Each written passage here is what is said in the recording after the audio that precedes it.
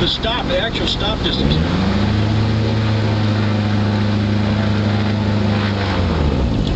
Now what I'm doing is positioning this dust lock so I keep the rotor blades flat. Right. I've seen that on the videos.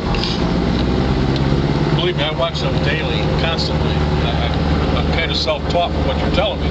I see those guys do that. As soon as they land, they level the blades off and then they taxi rotor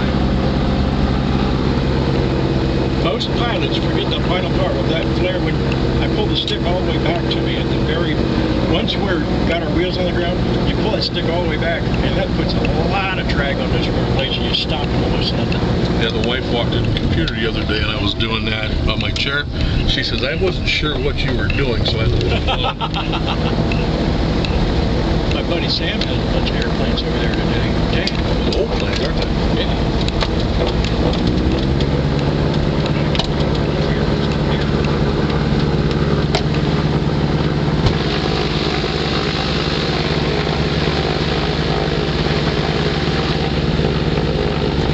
This really is so irritating.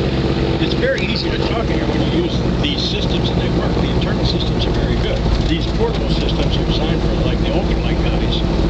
I would be thoroughly pissed if they brought me something that did half the stuff didn't work. Well, that's why we're going to have a heart to talk tomorrow. I'm curious, what does he charge to lease this at? 50 bucks an hour. Oh, you got a tech, you got a, you got a power meter? There. Oh, okay.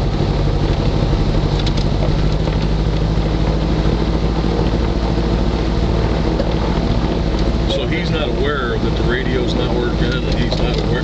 No, I- I'm gonna, uh, when uh, Lonnie McClung, he's the president of the Tailhook Association, by the way. Yeah. He's got, uh, is the president of this company, so Lonnie and I